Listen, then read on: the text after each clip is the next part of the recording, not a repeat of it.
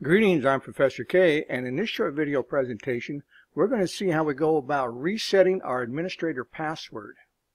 I'm currently logged on to my domain controller, so I'll be resetting the password for the domain administrator account. Now, there's two different ways you can do this. The first thing you can do is you can send a Control-Alt-Delete using the keyboard, or in this case, as I am up inside a virtual box. And from here, you can change your password. You type in your old password, you type in the new password, and you can then log on to your domain controller using your new administrator password. Now another way that you can do this is you can go up inside of Active Directory. Find the account that you want to change the password on. Just right click. In this case it is the administrator.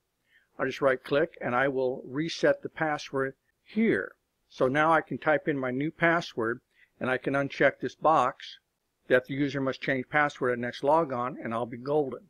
So that's how you can change the administrator password on a domain controller for Server 2012, Server 2016, or Server 2019.